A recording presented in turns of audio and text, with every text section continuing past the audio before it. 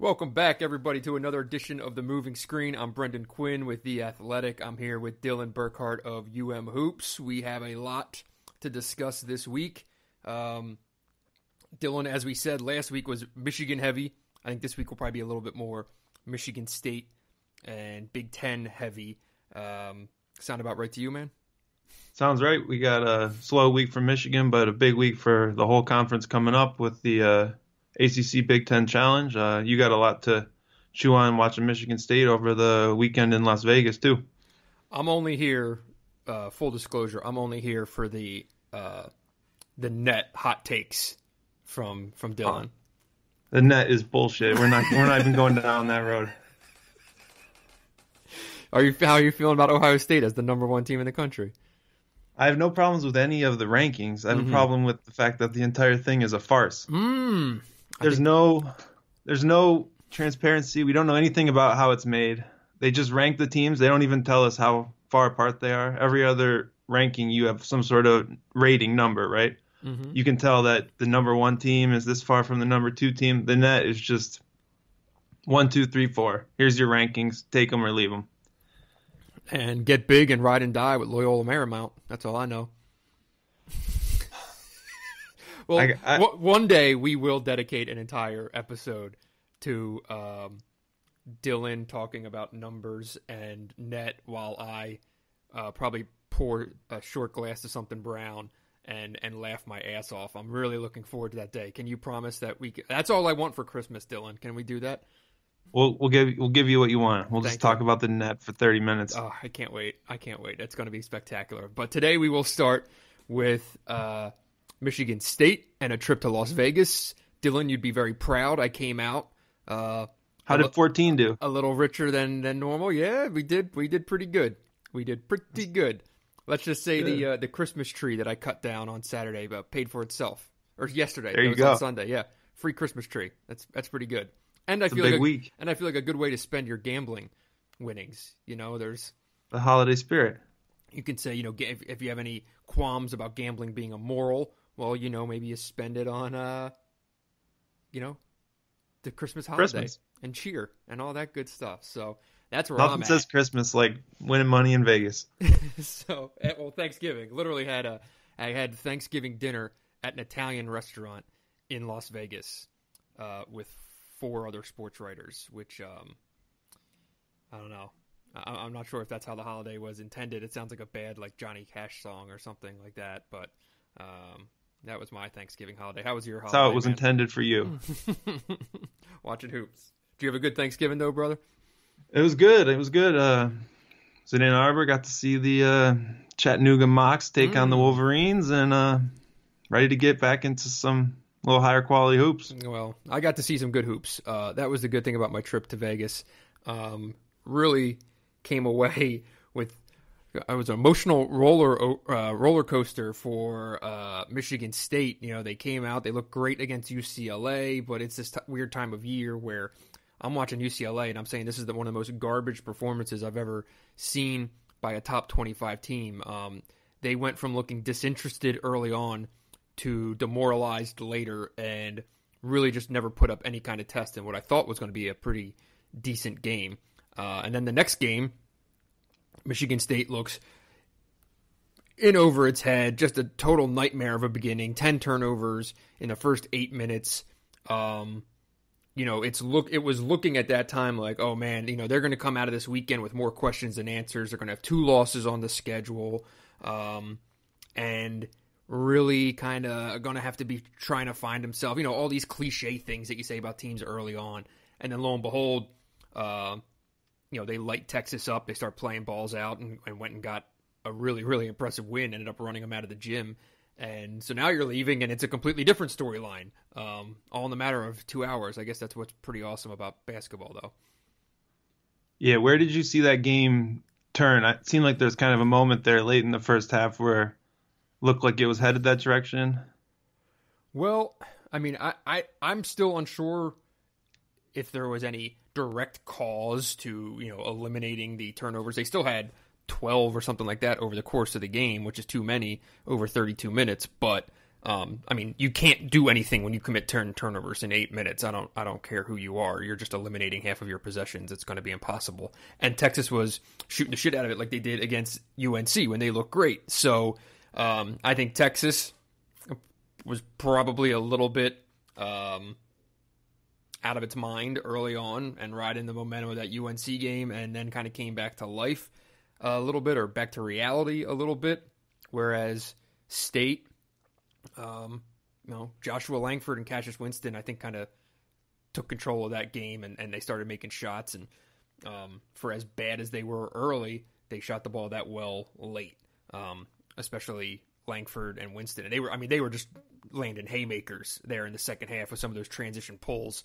Um, that was, you know, that's what you think of Michigan State if you think they're going to be good this year. That's what they look like. They were eight of eleven from three in that second half. Um, hard hard to lose when you go eight of eleven from three and a half. I hope um, my coffee mug didn't just resonate in the microphone. We've had a couple complaints about our sound quality, including my brother saying last week we sounded like we were in a tin can. But uh, a lot of I got a lot of that feedback last week. Uh, Kevin can go to hell. Uh, your listeners or your your people, I'm sure, have valid arguments, but Kevin can go to hell. Happy Thanksgiving, brother. so, give me your thoughts. So you had the TV view, which is oftentimes actually a little bit better um, than, than being there in real time and, and kind of breaking it down as you see it in front of you. Um, what what were your takeaways from my my two biggest two thoughts games? on Michigan State in those games, but really the whole year is one, it is well, it's two things that they do more of than any Michigan State team under Izzo. They run the ball and they play in transition. They play at a faster pace than any of Izzo's previous yeah. teams, and then they shoot more threes than any of Izzo's previous teams. Um, and they're pretty damn good at shooting threes, at least Langford and Winston. You can't really give those guys enough three point shots because yeah. they're shooting 45%, 47% from three you got to keep shooting until you're shooting 38% at that rate. Um, and they turn the ball over, but if you're getting a three point shot on every other possession, it's not going to be the end of the world. And they're just running so fast that they just kind of seem to be wearing these teams out. Um, have do you think what do you think it is behind the kind of that crazy tempo that they're playing this year? And do you think that three point shooting and the volume behind it is why they're sort of up and down, or they have sort of a slow start to that Texas game? Well, I mean, I, I, I still think everything comes back to the turnovers, um, and that sometimes they can be a little bit um, outsized down low. Um, what do I think is at the root of of getting those free buckets is I think a lot of it's just the makeup of this team and that you got you have guys who can go and create with the ball and pass, shoot, and make decisions. Um, you know, I, I, I really like the ball in Langford and Winston's hands right now because they, they do more often than not make the right decisions on, on where to go with it.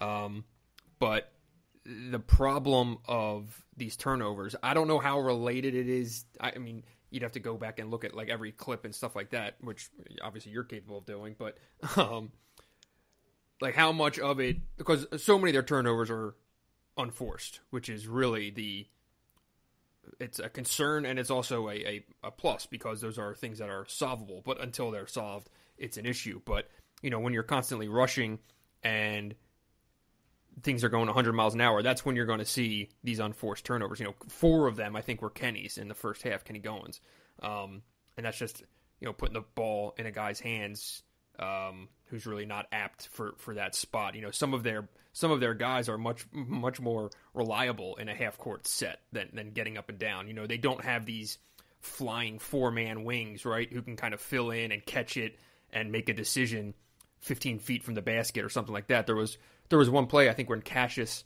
threw a transition pass um, to Kenny Goins like 40 feet from the basket and he had there was he, it was an automatic turnover. I don't even remember what he did with it, but it was an automatic turnover. There was one I think he tried to throw an alley oop. Um, there was that too. That yeah. just got completely stolen oh, by uh, it, the big kid on Texas. Yeah. So there's still a they lot turned, of that stuff. They turned the ball over 24 times in a 72 possession game. That's 33% of their possession. So one th- up the floor every time they're every three times they're turning the ball over. That's and they've still played uh, the second best game anyone's played offensively against Texas. That's a pretty uh, crazy stat because if you shoot the ball like they shoot it and have it and rebound the ball like they have they rebounded half their misses and shot 60% from three. If you can fix the turnovers, that's a runaway train on offense. You right. can't really stop that. Well, and a, and a lot of it's also um, you know he's playing this large rotation where these there are still a lot of guys funneling in and out of there, and you know this weekend was a really interesting example of what do you have, trying to figure out what do you have because when you see Aaron Henry do it one game and then barely play, or he barely played the first game and then was a real difference maker in turning that game around on uh, on Friday. You know that makes you scratch your head. Thomas Kithier kind of the same thing. One game he's a he's a factor, the next game he's not. Marcus Bingham the same thing. One game a factor, one game he's not. Um, you know, is it just going to be this all year, eleven guys, and just go with what works? Um, based on recent history, Probably. Is that fair to say, Dylan? I think I think that's fair. I think Aaron Henry's a guy who really, when you see him play, he stands out for. Mm-hmm. He can really. I think their biggest weakness is sort of hanging in a against a super athletic team, right. and they can kind of get punked a little bit early or jumped on and have to adjust. And he's really a guy who can hang in any sort of battle against athletes and sort of even the sail, so to speak, right? Like, yeah, calm everyone down he said everyone can hang. He can get in the get in the lane a little bit. He played really well against Texas, and mm-hmm. I think that that's going to be a trend going forward. Yeah, I think he's going to have to. They're going to have to kind of lock him down into a, a, a steady rotation place. I'd almost like to see him kind of be the guy that checks in at a certain minute mark every single game, so he kind of gets into that mindset of really understanding his spot and kind of what to expect. I feel like everyone's still fearing the quick trigger a little bit. Um, but in reality, it, it all it all really comes back to to Winston and and Langford, and I think both of them more and more are finding an understanding of when to shoot, when to go, when to kick. You know, these you do have to remember they spent the first two years of their college careers playing in a very different setup and in a different pecking order of things. Now it's it's both of them um, having to make all these decisions, having to make the big shots, and Friday especially that second half against Texas, I, I think was a major step forward in those two taking ownership of of the team of the program, and uh, and that's a big step because I think they're the it, when they are in half court and things like that, you know, there is I think Michigan State's getting better at moving the ball in the half court, and I think they're getting more quality kickouts than they've had um, certainly this year and, and probably even in, in, recent years. But the the ball's moving more, and you know, part of that has to do with you're not playing through Miles Bridges, which kind of created different issues. But um, they're really unselfish, um, and they do look for the best shot when, when they are running offense, and they don't turn it over. So uh, as long as those two are the catalyst and the ball's moving that way, you're going to find looks. We've seen it from Winston. Let's. I think we should talk more about Langford, just because this is sort of uncharted territory for him mm-hmm. in terms of consistent production. I know you wrote about him. How do you kind of see him growing into this role, and what has really changed for him? I guess. Um, well, one, he's in a really good headspace, and two, when, when I talk to a guy like Mike Garland, who really got into Josh Langford coming into a more understanding of what it means to play hard, what it means to work hard, what it means to understand the game, what it means to not everything's just going to come easy because he has the most skills and stuff like that. That it, he, he told me this weekend, it really took him a long time to understand what it's going to mean for him to be, or what it's going to look like for him to be a great player. And, and one of the examples we talked about was something Langford always used to do was he could beat a guy off the bounce on maybe his first move, but then he would almost counter back into a different move and let the defender back into the play, and then he would get stuck, and it would end up as a turnover or a bad two point attempt. You know, typically a long two, which is I mean, you and I have talked about a, a long time with with him. Like, oh, I, have got some, I've got numbers ready got to go. Numbers, those those, but those were the things you saw. You know, like he, he would do that. He, he would get past the guy and then counter back, and you're like, well, just go make your move, man. Like, go to the basket or, or, or, take your shot. And he would always try to do too much. His whole game was just overcomplicated. and I think you've seen it a lot more stripped down maybe this year. And he he's a much quicker trigger when he when he does catch the ball for an open three, where he would kind of hesitate or maybe think about doing something. I think he's more likely to fire. Um, he's more likely to take guys off the bounce and actually try to finish at the rim and not just default to in between stuff. He's just much more aggressive, and um, he understands his game at this point. And I think it took a while to get there. And I think a prime example of him understanding some of his limitations was the fact that, and I, I wrote this this summer, and some people laughed at me, but when when Garland and I talked about it, it, it did kind of come back around. Um, you know, him not going into the draft this summer, him not testing the waters. Um, people will, out there will say, "Well, of course Josh Langford didn't test the waters." Well, guess what? A lot of players who don't really need to test the waters test the waters because they think in the back of their minds, "Well, if I were in a different system, or if I got to do what I do, then I would certainly be as good as all these other guys. And all I, I just have to try out for NBA teams, and they're going to see how good I am, and I'm going to be a draft pick, right? This happens to 30, 40, 50, 60, 70 players every single year. Langford wasn't one of those guys. Like, he knew that was a waste of time for him and that he needed to put in work. And that if he went and tried out, he would do stuff that would end up on a scouting report that would never come off of it. Like, he needed another year. So I think having an understanding like that is crucially important. And if you continue to see him play this year, I think that is at the root of it. Yeah, I think it's pretty simple. He is a 42% career three point shooter. That's pretty crazy. He's attempted 238 threes. Last year, you think of him as a shooter, he only attempted 31% of his shots from three point range. That number is way too low. He was attempting 34% of his shots in the mid range. So he was taking more mid range twos than 3s mm-hmm. This year, those numbers have flipped. He's taking 50% of his shots from three point range, which is what you would see from most players who are considered shooters. If you have someone who makes 42% of their threes, they need to take half their shots from three in the modern basketball. Hmm. Um, he's only attempting 21% of his shots from the mid range. That's a 13% drop, pretty significant. Yeah. Um, he's getting he's getting to the rim a little less, but what I see when I watch him is just he has the confidence to catch and fire on a spot up three without doing something else. He's realizing that the best option for him is to just catch and shoot and shoot over someone because that's going to be successful. Um, Synergy logs what they call spot up possessions, which are essentially catch and shoot or catch and drive. Mm-hmm.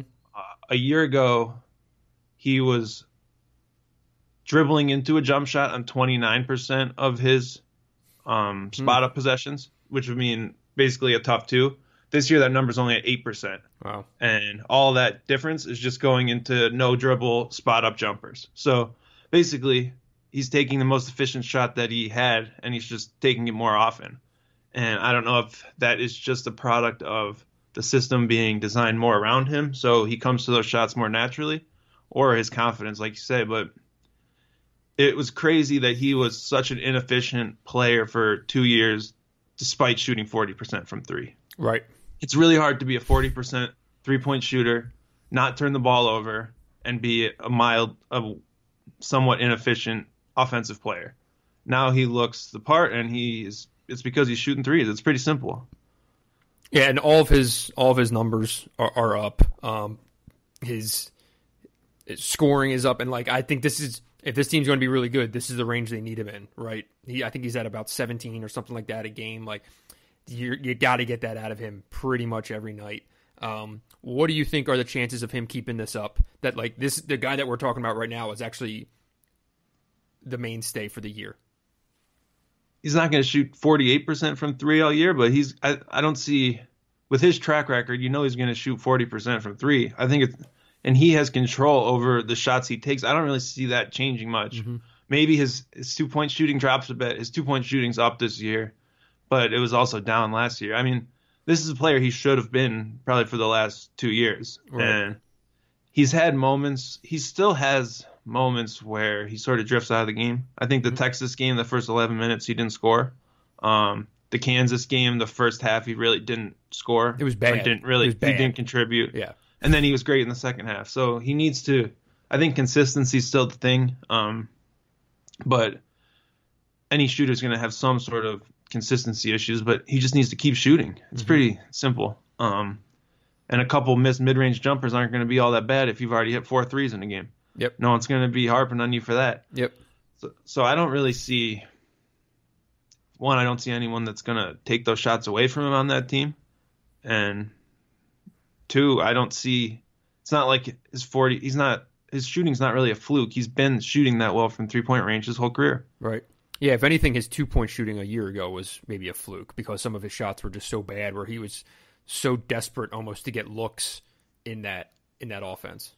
Yeah, last year he shot 38% on twos in Big Ten games, which is really bad. Yeah, five, uh, 50 but as a 130, I mean that's as a freshman though he shot 56% on twos, and he still took a, so he can. I think as his confidence grows, he'll hit those mid-range jumpers more effectively too. It's just having the confidence to just catch and shoot from the mm-hmm. perimeter instead of doing it too much, as you said, will just really kind of makes his game have a lot more flow. I feel like, and it really helps their offense.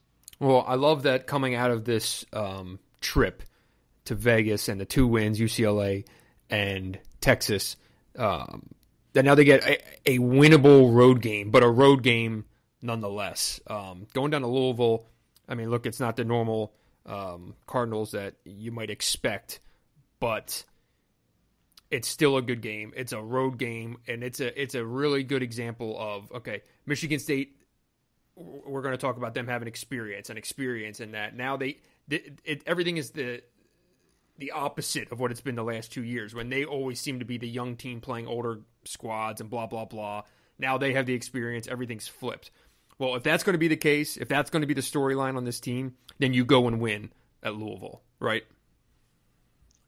I th- I think so. I think I see a lot of similarities between Michigan and Michigan State in these early season games where they both have a couple of dudes who have been through the wars, so to speak, mm-hmm. and they know what to expect. And you run into a team with guys who haven't, and it's quite apparent in November. Um, same thing happened like UCLA that happened against maybe uh, Villanova early on, right? Um, it just really speaks to that experience, and I this is not a vintage Louisville team by any stretch of the imagination. So, but it is a tough place to play. So that'll be a really interesting sort of barometer for where they're at right now. Yeah, and Louisville just took uh, Marquette to overtime. Um, Marquette is not, you know, the greatest team in the world, but they they played them at Barclays Center, I believe, and took them to overtime. That's that's pretty decent. Um, the they they scored 81 points against Tennessee. Uh, now they gave up 92, but um, you know, Tennessee's obviously very, very good, and you know that. So that point being, they're tested, right? They're coming. They they just had two games that they probably thought were winnable against Tennessee and Marquette, and are now get Michigan State, a top ten team, on their home floor. Like at home, Louisville's going to be ready for this thing. Um, this is probably the biggest. This or not probably. This is um, probably the biggest chance in Chris Mack's early tenure there, right? To to deliver something. You know, you get get the court rushed, get weird, get wild. You know, big party down there. Um, I, am definitely looking forward. I've never been to Yum Center, but um, I'm really kind of curious to see what the environment is going to be like down there. But I, I can't imagine it's going to be anything other than high quality, you know, college basketball, rocking and rolling, um, big time, big time venue, big time night. Bad news for Louisville: 283rd in three point defense. Ooh. Not not necessarily going to be a great look uh, coming up. How are they on points off turnovers? They are ranked 261st forcing turnovers. Also not great, not but great. we'll see. I do think just going to on a in a road game at a place where they're going to be ready for Michigan State to come, it'll be a good test and a really a chance to build on that momentum for Michigan State. For sure, for sure. I, am looking forward to this one. I would probably be inclined. Um, I think Michigan State's feeling really, really good about itself coming out of that trip.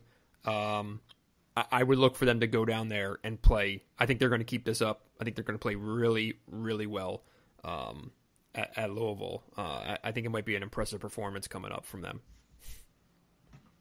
You got any kind Should of pick or any kind of feelings on this thing either way? I would take the over. I think it's going to be a shootout. I think both teams are going to. I think both teams are going to uh, foul quite a bit, and it's going to be a bit of a sloppy game with a bunch of free throws. Something we've seen a lot in a couple of these early Michigan State games. Um, Louisville's ranked second in the country in getting to the free throw line. Um, they're just going to try to muck it up, but I think it'll be an up and down game, and Michigan State pulls away in the second half. Okay. Yeah, I think a lot of uh, Michigan State's feelings about itself kind of stem back or go back to that Kansas game. The fact that they played like crap, um, all those turnovers, all the mistakes, bad defense, a terrible start, uh, and they lost by five. And, and I think that's kind of stuck in the back of their heads that you know, as long as they, in in a lot of regards, don't kill themselves, they can beat a lot of teams. Um, but you know, it was really interesting. Like, last thought on Michigan State and just trying to figure out what is a, a difficult team to figure out. Um, the last play of the game against UCLA, Foster Loyer's dribbling out the clock, and Tom Izzo is yelling at him to play it out. Right? Don't don't take a shot clock violation. Um, and the point was like we're we're done with turnovers. Right? I don't care if it means putting up a shot late in the game. We're done committing turnovers. So Loyer throws up a prayer at the end of the shot clock and it goes in and blah blah blah. And it was a joke afterward. And Izzo saying, you know, yeah, I'm done. I'm done taking turnovers, and uh, that's the storyline. Well, the next the next day they commit ten turnovers in the opening eight minutes of a game, and I'm just sitting there like, I mean, first of all, I can't imagine how mind numbing it is to Izzo, but like just to watch it, um, you're just scratching your head. And, and so, for as much as I can sit here and say I think they're going to really play well against Louisville, um, I sure as hell did not expect them to go and commit 10 turnovers in eight minutes um, a day after that game against UCLA. So we'll see. Uh, I've been proven wrong before. Um, I was not at Michigan Chattanooga, obviously. Dylan, you were, uh, I assume, watching from the seats perched atop Crisler. I, I was uh, not the most uh, exciting uh, Thanksgiving uh, hangover cure, but what was the it crowd was like? a it was a good. I mean, no students, but it was pretty full for a Friday afternoon game in November. Um, solid crowd. Uh, game was never really all that competitive. right. Uh, Michigan jumped out to a big lead early. Um, Chattanooga sort of died like we've seen every other team die against Michigan's defense. Uh, the one notable thing on the defensive end is that they did get up a few extra three point attempts and actually made nine in the game. Beilein was pretty uh, upset about that afterward. I uh, was not happy that they attempted over 20, which is the first time that's happened against Michigan this year. Um, the two big, I guess, thoughts on individual level from that game would probably be Isaiah Livers is still super hot. He's been on fire from three point range, hit a couple more threes in that game. Um, he's really growing with confidence sort of all over on the offensive side of the floor. There's one point he hit back to back elbow jumpers coming off a curl, which is something you haven't really seen from him at all.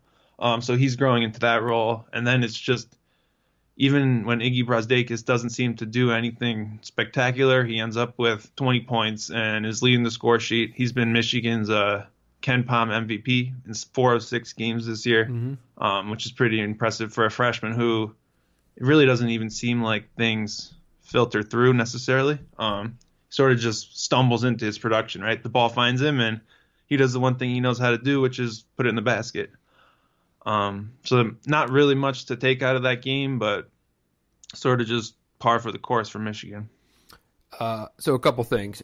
I think the fact that the, to speak on your point about Brazdeikis and his ability to just get offense within the half court without anything being dialed up for him is just a huge positive for them right now because it'd be really hard to be to run a system that's dialing stuff up for Charles and Jordan Poole and you know and all these all these things all these things that you want to get out of it. And just having one guy out there who just goes and gets his and doesn't need sets or circumstances is huge. And that fearlessness that he has um, it seems like he's not a guy who if they go three or four possessions you know empty possessions is going to start pressing or anything like that. You know he's just he's kind of he's immune to that. Like he's just uh, he's kind of cold blooded in that regard and that's a huge plus um Definitely. The one the one thing I'd say about his sort of mindset is I think his three point shot does sort of come and go with his confidence. He hit a couple threes. He was two of four from three against Chattanooga, and that sort of seemed to build him up. But when he misses that first three, he kind of hesitates whenever he the ball comes to him on the wing, and he probably could shoot. Mm-hmm. So that's sort of the one thing to watch, I think, with his confidence level. He's, he'll have no fear of putting his head down and driving to the basket, but he's going to need to hit those threes too. Yeah, I think as, as scouting reports build on him, he's one of those guys. Uh, you know, a good a good coach who really does a, a hell of a scouting job on Michigan will, if he misses the first one, I sag. You know, I, I just just just beg him to keep shooting until he until he makes it. I think that's a great point you bring up because once once he starts getting to the basket and scoring, you know, and he's puffing his chest out and he's looking at the crowd and doing all this stuff, that's when he's going to catch, shoot, and bury stuff, you know, because it's just his confidence is just sky high. But um, I, I, make him prove that he's going to hit him any given day. So I'm I'm I'm sitting back on him, and if he wants to drive, um, make it as difficult as possible on him. Um, another point, Kevin Easley. There's a blast from the past. How do you some late late game buckets. He had 21 in the game. He had a bunch of threes. He was really the reason that they got mm. lit up from three. A couple, a lot of that was late in the game. Um, Michigan's uh, freshman played most of the last five minutes and sort of continued to struggle, which is definitely part of the reason is that they're playing all together at the same time. Right. It'd be a little easier to look good if you're playing with other people who know what's going on. But it also speaks to the fact that this is really just a eight man rotation, and Beilein seems pretty comfortable with that afterward. Um, he said that the biggest takeaway he has from tonight's game was that he's happy with his rotation and hmm. didn't seem to be worried about growing it. So I think he's ready to ride with what he's got. Um, and but Kevin Easley did play well. Um, should get a lot of uh, SoCon buckets this year, I would think. Oh yeah, but Chattanooga has a bit of work to do. So, for those who have no idea what we're talking about, Kevin Easley was a one-time uh, emerging star out of Indianapolis who had a lot of high major attention, including Michigan, and was waiting for right, waiting for an offer and waiting for an offer that ultimately never came, and he kind of slipped from being a high major guy to a mid major guy. I think at one point he was re- VCU. Was he committed to VCU? I believe so. Yeah, he was at one. He was like the number one eighth grader in the country at yeah, one point. Yeah. But he sort of looked like he does now in eighth grade. Right. So that explains sort of his rise and fall. Right. Um, so that's that's it on, on Kevin Easley. Um, Probably any... more than we needed there. Well, sorry. Um, you got to see North Carolina this uh, yeah week twice. What do you, what do you think about them, and how do they match up with Michigan? It'll be. Uh, I mean, obviously, as anyone knows who, who follows these things, you know, North Carolina's got they got some dudes. Um, you know, Luke Maye is still there. Uh, Coby White, uh, as as you would say, Dylan, I think is a certified bucket getter. Uh, Nassir Little is a top ten pick, maybe top five pick. Um, threw down one of the nastiest dunks I've ever seen in Las Vegas last weekend. Uh, and Cameron Johnson is a guy who, um, not coincidentally, you'll you will watch and play and say, "Man, he would really look good at Michigan." Uh, there's there's a reason that Michigan recruited him when he transferred out of Pittsburgh. Um, he's a six nine guy, multi skilled, kind of does a bit of everything. Um, I like his game. I really like this Carolina team, except for the fact that um, there's no rock solid point guard. And I think this is the big difference between this Carolina team and all the great Carolina teams that you've seen under Roy, right? If you can go back and pick off his teams, and they're there's basically an All American at point guard.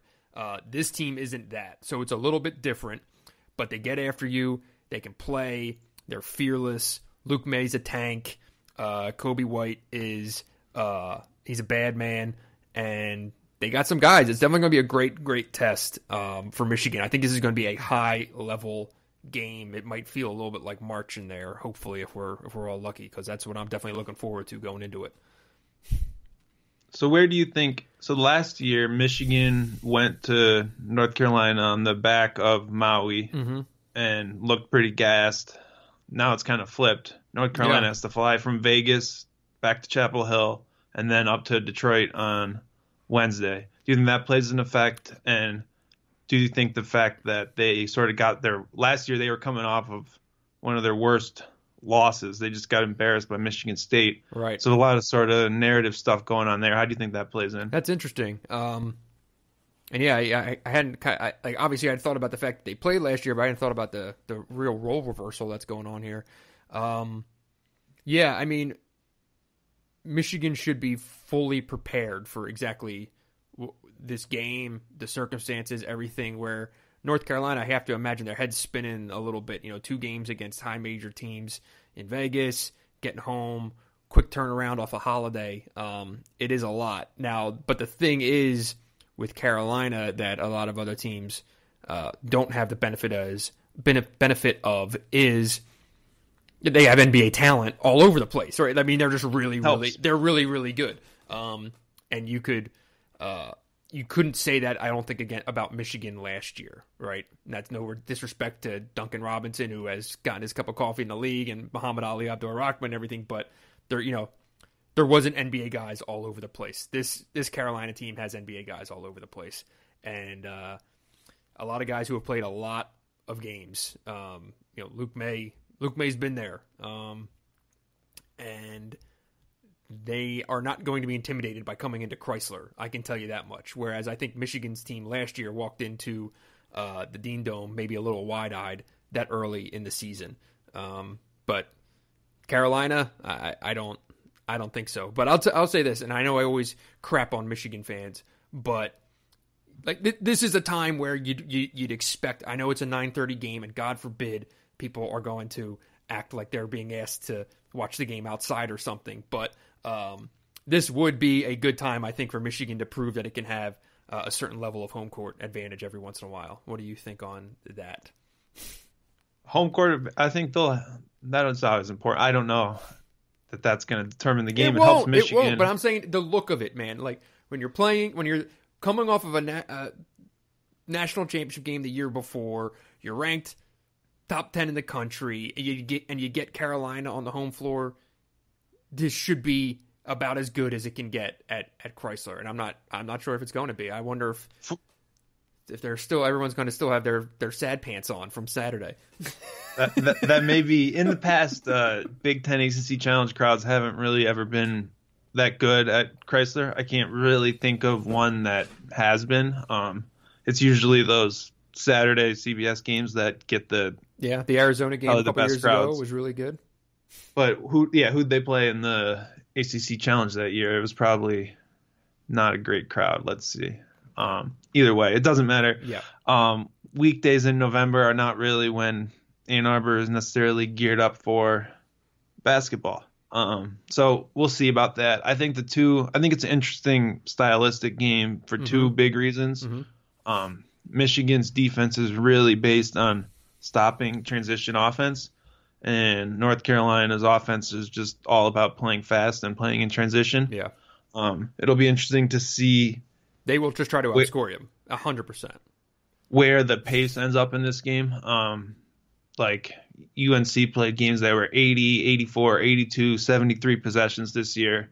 Michigan's playing games that are down in the mid 60s. Um, UNC doesn't play games like that unless they're playing Virginia. Mm-hmm. Um, so if you're Michigan, I think you're looking at those Virginia games. Uh, I think they lost to Virginia last year um, on the road, 61-49 in a 59 possession game. That's that's the Michigan game plan. You need to keep them out of transition at any means possible, and then try to hold your own on the defensive glass, which is probably going to be the biggest issue for them defensively, I would think. Yeah, Carolina will just try to get behind you a lot um, in the half court. That's what I, at least I, what I saw um, out in Vegas. That's where they got a lot of their their scoring. Um, but they can also just go straight downhill. They're going to take they're going to take any three that you give them. Um, it, they they kind of they kind of actually remind me of um, some Michigan teams of the past where there's just kind of a general non you know what was the word I used a choreographed nonchalance to their defense uh, and then it was go down and just get a point and and just hope that you can wear out the other team. So um, it'll be for as much as we talk about this Michigan defense, I think this will be a super fascinating uh, matchup because this Carolina team, I'll tell you this, when things don't go well, they get really really frustrated. Um, you, you, I think some of the there is so much immaturity there, especially in in Little and White. Um, Coby White meet Zavier Simpson. Yeah, exactly. So you know, guys like that, they do have experience with Luke Maye and Cam Johnson, but those aren't the guys who are going to get them into the offense, right? Those are the guys who everything is kind of geared toward, but there's stuff that they, they need other guys to do the work for them in a lot of ways. So if they go and stick White or Little in a box, you know, I assume Charles Matthews on Nassir Little, uh, I assume Zavier Simpson on Coby White. You know, if those two go out and have big time performances defensively, they will frustrate Carolina for sure, and it will it'll show on both ends, and then that's when Michigan scores, right? When once the team gets frustrated on offense, they drag ass a little bit on the other end, and that's when a team that does have some offensive inefficiencies can suddenly get some buckets. You know, Luke Maye, twenty-seven points on fourteen shots last year. Who guards him on Michigan? What's he listed at? I think he's like six eight. Does that sound about right? He is listed at six eight, two forty. Yeah. Um, I, I, think I just put. I, I think I start with. Um, I think I start with Teske on him. And and you put Iggy on. Who's starting at the center? Garrison Brooks. Yeah, sure. I, I don't think I want Iggy on uh, on Luke Maye. I like the idea of even for as strong as Iggy is, I do feel like not bullied, but I feel like Luke Maye can still be physical with him, right? I'm not sure if Luke Maye would be really that physical with with Teske. You know, he's an anchor back there. Once he sets his feet, it's hard to move him. Um, so I'd give Teske first shot and see how it goes. And the good thing for Michigan is you have three viable options to put on on Maye, depending on on what he's doing and the touches that he's getting. I think it's a huge spot for Isaiah Livers. Mm. All this talk about Isaiah Livers, this is Michigan's defensive everything. Yeah, I think he his ability to guard someone like Maye, get it done on the glass, that's going to be huge in this spot. Um, he's wasn't nearly ready for it last year. I think he played a decent amount last year there, and they just got blown off the court. But he was, he, I don't think he knew anything what was going on at that point last year. And this year now he's one of the smartest players on the court for Michigan. So we'll see. Um, I think that'll he'll play a huge role in this game, even if he comes off the bench. Um, they just need him to match up with some of that frontline size. Yeah, I don't think anyone knew, really knew what the hell was going on in that Carolina game. That's why you know a lot of it's not um, translatable to this conversation here. You know that in that game, yeah, Livers played 18 minutes, but Ibi Watson played 12. Um, you know, I think the they, they, were very much Eli Brooks was still starting. Um, Jerron Simpson came off the bench and gave him nine. I think mostly that was in the second half, but um, yeah, I mean was, they started that last game with Duncan Robinson on Luke Maye, and he just tore them apart. it um, didn't go well. So they'll have uh, they'll probably some takeaways there on how to uh, approach that better. Um, but it should be a, a, heck of a game for November and chance for Michigan to get a big win at home. For sure, for sure. Um, and it's a big game for the Big Ten. And uh, so far, so good in a lot of ways. Um, on on the league, picking up some marquee wins, I think you could make the case. Tell me if I'm wrong. Would this be the best win for the league this year? Um, probably. Yeah. Uh, it depends how you see Villanova or some like a home game. You can't right. really. It's hard to compare compared to games on a neutral or a um, road venue, right? Like fair. Even if Carolina, you say, is a top five team and Villanova is a top twenty-five team, beating one on the road is about equal to the other at home. Fair. Well, so should we do our uh, Big Ten power rankings I think dive into that? I think it's that time. So earlier today, uh, Dylan and I just kind of went back and forth, and we put together a, a power ranking where he picked the team, and then I picked the team, and then he picked the team, and then I picked the team, and on we go. I'm sure there's some disagreement here. Uh, I know of one hot, hot disagreement, but I, I look forward to getting into. Uh, but let's start it off. Dylan had the first selection, and uh, I don't think his pick was much of a surprise. I had the first pick. I went with Michigan. They have a great road win. They won their neutral court tournament, and they haven't lost. And they have the best defense in the country. We've talked about them for the last 20 minutes, so yeah. probably don't need to harp on no. Michigan too much. Yeah, uh, Michigan State at number two, and this is how the AP and any ranking would go right now. Uh, Michigan is slightly ahead of Michigan State. Hold, uh, hold on, what? any ranking. not the net ranking. The net ranking Let's as well. Let the record show that the net has Ohio State at number one. Well, fair, but I was saying between the two in terms of who's ranked higher, Michigan, Michigan State, even in the net. Uh, I think Okay, Michigan's at four, Michigan State's at seven. Um, but yeah, I, I think that's pretty obvious. An- anyone doing a power ranking right now would have Michigan and Michigan State one and two. So we go to Dylan for number three in the power rankings. I took Wisconsin. Um, they've been impressive to me. They played well at down in Atlantis. Um, Ethan Happ is obviously still Ethan Happ, but I think D'Mitrik Trice has really been a guy who has stood out early for them. He missed most of last year with a foot injury and was pretty terrible before he was out, but he's shooting the ball like he was as a freshman. Um, he's really given them sort of another dynamic option at guard that they haven't had and their defense has been awesome. They did lose to Virginia, but losing to Virginia in the third game in three days on a neutral court isn't really all that much to complain about. And I think they look more like a Wisconsin team that you've come to expect in the Big Ten. And for what it's worth, I watched some of that um, that Virginia game, and I thought in the first half they looked really good. Um, it, it got away from them a little bit, but I don't think like it looked like they belonged on the court with Virginia, um, which is which says a lot. Um, and obviously, obviously a big step forward for a team that missed the tournament last year. So uh, at number four, I took Iowa, uh, which is five and zero now after uh, an impressive performance.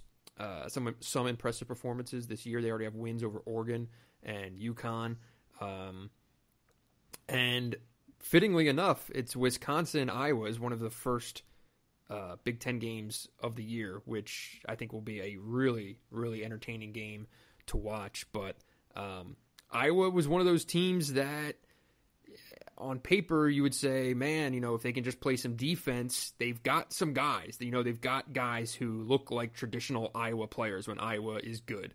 Uh, Tyler Cook being the two most notable, but uh, I think you know, Connor McCaffrey is probably giving them a little bit more than people anticipated. He's pretty good, and uh, word out of uh, out of Iowa is that he's kind of changing some things. I think his presence on the court um, is changing some things. So maybe something that people didn't quite anticipate, but um, you know, he put up 19 on UConn. Um, and has given them something that they really needed. And that's a, that's another scorer, and maybe someone who um, can communicate a little bit with guys on the court and can translate what the head coach is saying without screaming in people's faces. So that's good. Uh.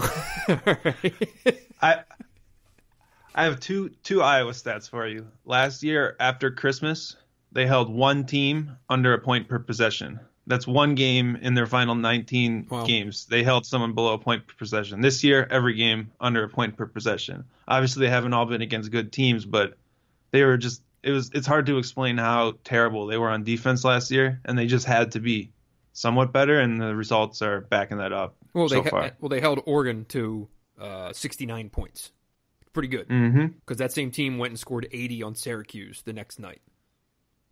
Yep. And a lot of people have been saying it's all about their zone defense. They're playing zone on like half their possessions, but their man has actually been better early on for what it's worth, according to the synergy stats. So that's something to keep an eye on too. Mm, very interesting. All right, what do you got? Number five. I've got Ohio State, um, the number one team in the net rankings, only five in this very official podcast rankings. I would have picked them before Iowa personally, but Mhm. they've won two top 40 KenPom road games. They only won one all of last year. Um, it was really easy to kind of discount what they did last year and say, well, Bates Diop was back and he was hurt, and who gets a player like that in his first year? But I think the biggest takeaway right now is that Chris Holtmann is just a hell of a coach. Mhm. They go and just grind out wins. Uh, they won at Creighton without a single starter in double figures Wow. uh, which is hard to do. And it just kind of speaks to the fact that it's not really one guy on that team that is a star, but they're just going to out tough you down the end. And that's really what they did to Cincinnati and Creighton. I don't know what the ceiling is for playing like that, but no one's going to want to play against them, if you ask me. Yeah, and uh, Grand Rapids native Duane Washington had a great great showing in that Creighton game. He scored 12 off the bench, I believe. Um, but I, I, I, do I like what, what Dwayne gives them, and I've always, I've I've been I've been high on him for a long time, mainly because he's he's a great kid to deal with, and um, wrote about him back in the day. But um, Duane Washington getting a chance to show Michigan, Michigan State that maybe they should have prioritized him a little bit more is going to be a very interesting uh, storyline to watch. So uh, I enjoy watching Ohio State this year in part because I enjoy watching him. But um, they do have a lot of ways that they can beat you. You know, the fact that you win you win a game of Creighton with C.J. Jackson scoring six points when at any given night he can also put 25 on you. That's a tough thing to game plan for. So uh, I do like Ohio State for sure. Where are we at now? Number. We're six? at six. Man, I fought with this one, and I, Dylan, who we do video when we watch this or when we uh, record this, so that we can see each other. and so I picked Minnesota six, which I mean I was hemming and hawing, and I'm not buying in on it. And I, I watched from the bar at what city? Where were we? Where were we? Connecticut. Connecticut. Dylan, yeah. Uh, you went. Hartford. It was past your bedtime, and you had an early flight, and so I went down to the hotel bar and I watched uh, some of the game against Texas A&M, and they looked they looked ugly, but they still won, and they're five and zero, and they got a win over Washington this past weekend. Um, but the thing that gets me about Minnesota continually is the number of guys on that team that I like and wish that I could watch them on other teams. if that makes sense. Like they've just got great pieces in a lot of ways. Um, you know, give me Amir Coffey and Jordan Murphy on almost any team. Um, they, So- got, they got guys. Okay, what stat? need do to you, what talk stat about do- you- What stat do you have to to shit? I don't have here? a stat. We just need to talk about you always picking Minnesota and overrating them all. They're like a they're like a penny stock where you triple or quadruple your money, but then you put all your money into it and it goes to zero, and then you do the same thing over again. I know. I know. That's it's just the same thing with Minnesota. I don't Um, disagree, but I mean, right now, okay, so I put them sixth in the league right now. I know you're going to argue about Indiana, and I know you'll probably put Nebraska ahead of them, maybe Purdue. I don't know. Where would you have Minnesota in yours? I would have Minnesota probably after Indiana, Purdue, and Nebraska. Okay. So that would be around nine. Are we at? Would that be? But let's let's let's give Indiana their a little time here. You gotta. I'm the only one over here on Archie Island, which isn't the most profitable uh, strategy right now. But well, uh, I considering, the I'm, considering, I'm taking league. the, considering I'm taking the boat off of Ri- Richard Pitino uh, Island, uh, you're preaching to the Uh, choir. Go ahead, Indiana. Indiana blitzed Marquette at home, Yeah. and no one wants to go to Assembly Hall, so that's not a huge surprise. Right. Then they took a tough loss at Bud Walton Arena down in Arkansas Mm-hmm. and fouled after missing a wide open tip in that would have won the game. Mm-hmm. A brutal turn of events, but really the story here is injuries. Um, Devonte Green, McRoberts, De'Ron Davis, and Jerome Hunter have all been dealing with varying levels of injuries, and I think there was a point there down to like six or seven scholarship guys. Um, they need to get healthy. I think the Jerome Hunter injury is the long term injury of that that bunch, but they haven't looked necessarily great. But I still think there's talent there. Romeo Langford looks to be the real deal, and he's only going to get better. Um, but I think you got to still you can't really knock him for losing the game against a decent Arkansas team on the road. Yeah, Uh, I would I would tend I would tend to agree. Um, the the problem with with Indiana that I just kind of run into is when I've seen them, I just haven't been like, man, you know what I mean? Like, I at no point, and now granted, I haven't sat down and watched all of their games, I haven't watched all this stuff, but like anytime that I've seen them, I just haven't. I've kind of shrugged, you know. So, um, it's tough. Um, and we were in the it's just I, I just want I want to believe in Indiana. I just need them to give me a reason to. Yeah, you missed. We both missed their best performance of the year, though. The Marquette game was right, Right. After the Michigan Villanova game. But guess what? They Which- get they get a chance at least this weekend to show that I'm not I'm they're not going to beat Duke. Okay, um, but can they not lose? Maybe not get run off the court would be good. You know, put up a game. I would love to see that game at Assembly Hall. Me too, Uh, 100%. I don't know if it's worth watching at uh, Cameron. We'll with, see. with Duke coming off a loss. Yeah, I don't. Think yeah, might be ugly. So. Um, Who do, okay. who do you have next? Where are we here? Uh, at number eight, I have uh, Purdue. Um, Carson Edwards is playing up to most expectations. They have a neutral court loss to uh, Virginia Tech, which is not um, a bad thing in any way. My one of the problems, you know, the reason really for Purdue's ranking right now is it doesn't have a quality win. So you got to beat someone for uh, the teams ahead of them have wins.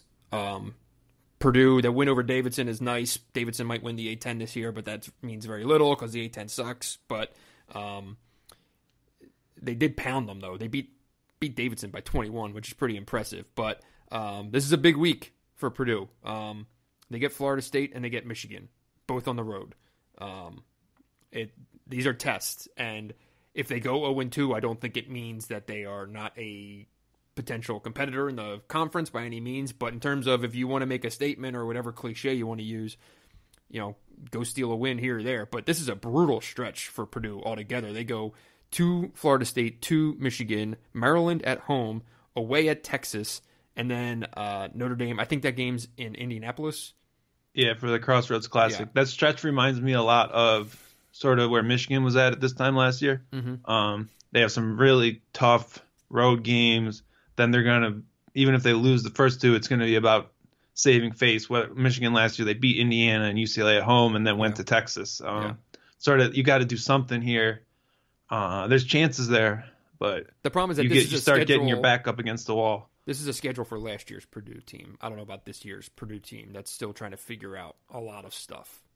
Uh, so we'll see. But it'll be interesting. You know, if they take a pounding on this stretch, say, you know, they so these are this is a five game. Say they go two and three or one and four. You know, how does this group respond to kind of being in that position after after last season? Uh, It'll be really curious to to pay attention to. At the same time, if you go three and two in that stretch, you're feeling pretty good about yourself. Pretty good, absolutely. Two and three, you're fine. One and four, oh and five, you're in world of hurt. Mm-hmm. It's when it's if you're going into that Notre Dame game on a four game losing streak when it feels like your whole season's sort of Definitely. riding on the edge there. Definitely, and it's December. mm-hmm. All right, number nine, Dylan. I've got Nebraska mostly just because I have to pick them. Um, I'm so sick of all the Nebraska people crying all summer about how they didn't make the tournament, how they just didn't get enough chances to win games away from home, and then they just go and they have their chance against a Texas Tech team that has four new starters and they just get blown off the court. Is you have to win those games eventually, and mm-hmm. they're going to Clemson tonight. Clemson is a good team. Good. I don't I don't know if they can beat a good team away from home and they have a great home court advantage. But until they show it, I don't. You can't. I don't care if you hold Southeastern Louisiana and Mississippi Valley State to 35 points. It's, you have to go beat a good team yep. Outside of Lincoln, Nebraska, and yep. they haven't done it. Yeah, and it was interesting that win over Seton Hall was pretty solid, but then Seton Hall went and lost to St. Louis, um, which made you say, "Ah, oh, maybe they're not that great." But then Seton Hall went and beat Miami. They beat Miami. Beat Miami, which is a good win. Um, so you know, you're you're right. Nebraska. Um, you're a ten guy. Don't sleep on SLU. Uh, I'm gonna go ahead and take a long nap on SLU. Thanks though. Um, but then Nebraska's their first two games uh, in Big Ten play are Illinois and Minnesota. This is one of the, and it's at Minnesota. Those are two games where it's all right. If you are what you say you are, like you better be, you better win this game against Clemson start off 2 and 0 in the league, and then go play Creighton. Um, because these are, this is exactly what you're talking about. You know, you, you, you, whine, moan, complain for for so long. Well, it's time to win some games, boys. So we'll see. I think Nebraska's right where they belong in this ranking. Um, and now we go on to number 10, and Maryland uh, is hmm. my pick there, which is, uh, I believe, still undefeated. Yeah, they're 6 and 0. Um, their best win is over Marshall. So um, the schedule uh, is bullshit. Is it has them exactly where they belong? Um, it's pretty embarrassing for for a program like Maryland to uh, have a schedule like this because even if you go deeper, it's not like there's great marquee games waiting in the distance. Uh, they have Virginia tonight or on Wednesday, which was scheduled for them, right? And then uh, their next biggest game, they have a home game against Seton Hall, and the rest of their non-conference schedule is Loyola Chicago, Loyola Maryland. Not many teams play two Loyolas in a year, and I I, I love love the Jesuits, but come on, man. Uh, and then also Radford. So Uh, that fills out a non-conference that currently includes Delaware, Navy, North Carolina A&T, Hofstra, Mount St. Mary, and Marshall. And So, how many non-conference games do they play outside the state of Maryland? uh, Zero. Zero. Loyola Chicago. That's a, a where's that game? It's in Baltimore, Baltimore. Okay. And they played Navy at Navy. So you know, uh, this Maryland team is the team that that deserves to go if if the Big Ten is really really good, right? And it's and it becomes an eight bid league or something like that. Maryland's the team that deserves to go ten and ten and not get a bid because that schedule is absolute horseshit. So, uh, congrats on that, Terps. Uh, number eleven, Dylan. I've got Northwestern. Um, Vic Law has been incredible for them early on. He's shooting the ball really well from three, 45%. He's leading the team in assist rate. He's their best defender, rebounding, doing everything. He's been awesome. They also lost by 20 points to Fresno State on a neutral floor. Right. Uh, not great. No. Um, they bounced back with a good win last night when everyone else was watching NFL. They uh, knocked off Utah Good on win. neutral, which sort of salvaged their week over there. And uh, I think they're in California. I want to say. Um, Yeah. either Fullerton. way, Fullerton. So either way, I they're a pretty good team to be near the bottom of the Big Ten. Sure. I think they've proven that they have some talent, and they even without a real point guard, they just I don't. It's a pretty. It's not an easy pushover team, and I think a lot of people thought they might be when they lost everyone, but. I know it might have been a hot take when I said Bryant McIntosh was addition by subtraction, but he wasn't an efficient player, and Vic Law has been as that primary guy. So it's an upgrade, I think. Well, I've not I've not seen Northwestern yet, so I don't really have any takes on them. But I do like them to steal a win for the league in the Big Ten ACC, uh, taking down Josh Pastner and uh, those Georgia Tech Yellow Jackets. Uh, that should be, I, I think that's a good win for the league, right? You want your bottom to beat their bottom. Are we calling that stealing a game? They're seven point favorites. Well, you know what I mean. Steal a game for the league. what- You want the bottom of yours to beat the bottom of the other one. This is this is how conference RPIs or nets, whatever the hell you want to call it, are built. You you you need to win these games. So That's fair. Northwestern should do the league a good service there and get a win there. Uh, We've got an upset at 12. number twelve. This is this is the the real sticking point with with Mr. Burkhart over there. I have Rutgers at number twelve. Um, they got they got hammered by St. John's in their one loss of At the home. year at home. Uh, but they got a couple wins. They uh, look, they don't have any good wins. They're four, they're, they're four and one. Um, they're they're not very good. But over my dead body was I going to rank Penn State, which lost to DePaul, ahead of Rutgers, which doesn't have a bad loss. Um, and I was not going to rank uh, Illinois ahead of Rutgers because Illinois is not very good. And Rutgers currently hasn't done anything for to get the trash designation, right? If they went and lost to EMU or they lost to Drexel or something, you know, if they did typical Rutgers stuff, yes, they fall right back into their slot at 14 like usual. But if you put another jersey on this on their early season record, you wouldn't default them to last in the league. 20 point home losses are not a great look. I, I'm just saying, St. John's pretty good though. They're all right. Well, they're pretty good. I've, all right. I've got Penn State next. Um, Penn State's sort of a similar deal to Northwestern, where Lamar Stevens has been playing out of his Out of mind, his mind. Yes. doing everything that he possibly could and doing it pretty well. Um, they have some pieces. Myles Dread, the freshman guard, has shot it really well. Josh Reaves is a great three and D guy, but they also lost to DePaul, as Brendan mentioned, and lost to Bradley by three points. Um, apparently, teams from Illinois are just a tough ask for uh, the boys from Pennsylvania. Yeah, Bradley, which lost to Illinois Chicago, which was started off the year 0 and 3 with losses to Radford and Duquesne, by the way. So, um, yeah, those are look. The, the the Penn State ranking is as much because of just the general disappointment of those two losses. Um, I, I I thought Penn State was going to be a little bit better than that, and to just start off with two kind of kicks in the ass like that. No Mike Watkins hurts though. Absolutely, no doubt. You're right. Um, but now they got games against Virginia Tech, Maryland, Indiana, and it could be very quickly Penn State's three and four and out of the conversation for the rest of the year. So just business as usual in State College. True. Well, last year they were still in the mix. Sort of. they started off five and zero last year with a win against a very crappy Pittsburgh team. But um, all right, and dragging up the rear, our friends from uh, is this my pick or yours? This is yours. This is mine. Um, Illinois. Uh, I'm not really sure where where this program is is heading. Um, they don't have a horrible loss, right? Their their four losses are Georgetown, Gonzaga, Iowa State, and Xavier, but their only wins are Mississippi Valley State and Evansville. And when I watch them play, it still looks like the the, the moments that I've seen them, it still looks like a bunch of guys who've never actually played together. Um, in a lot of ways, they they are, but um,